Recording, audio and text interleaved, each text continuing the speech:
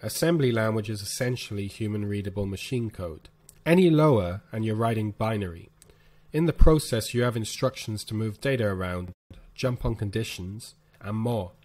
Let's look at my computer screen so you can truly understand.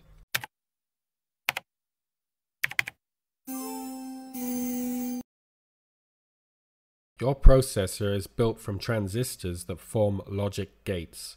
These logic gates are arranged in specific patterns within the processor to implement operation codes, which are the fundamental instructions the processor can understand and execute.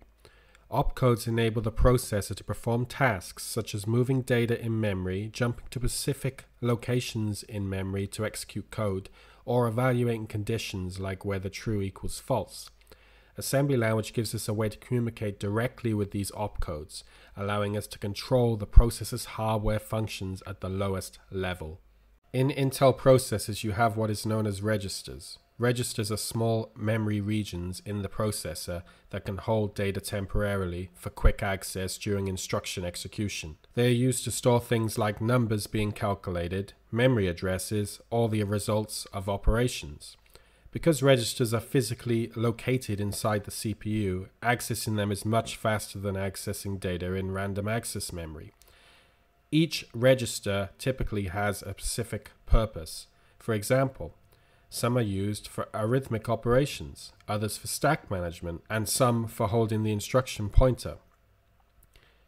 If we take the AX, CX, DX, BX registers, for example, these are 16 bit wide general purpose registers. They can hold numbers from 0 to 65,535, or up to 16 bits of information. It's important to remember that these registers are built into the hardware of the CPU itself. They are not part of your motherboard or even a part of your RAM. This is an example of the Intel move instruction.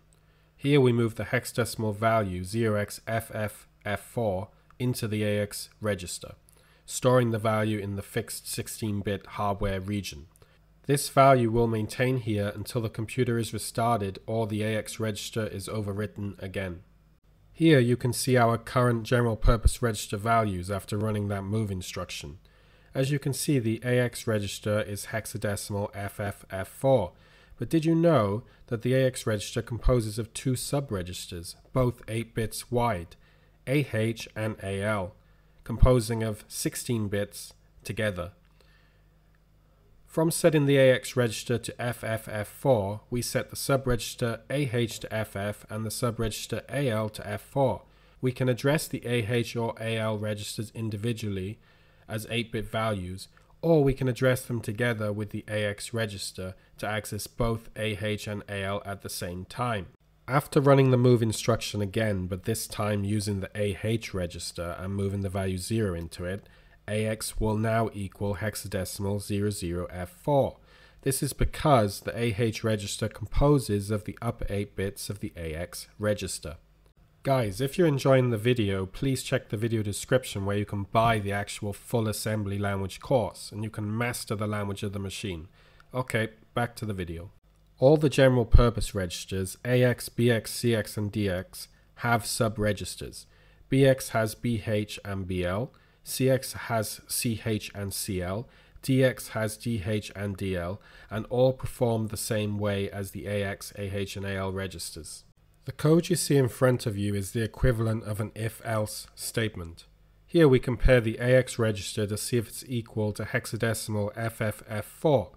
If the register value is equal, we jump to the address in RAM 0x1000 or hexadecimal 1000. If it's not, then the next instruction will be run, which will then jump to address hexadecimal 2000. We use the JE instruction for jumping to an address in memory only if the compare instruction was successful.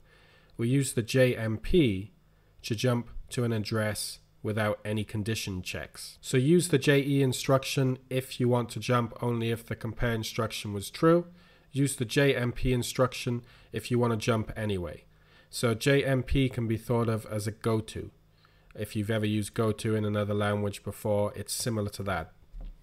Here is an example where we move 16 bits from the address in RAM hexadecimal 2000 into the AX register.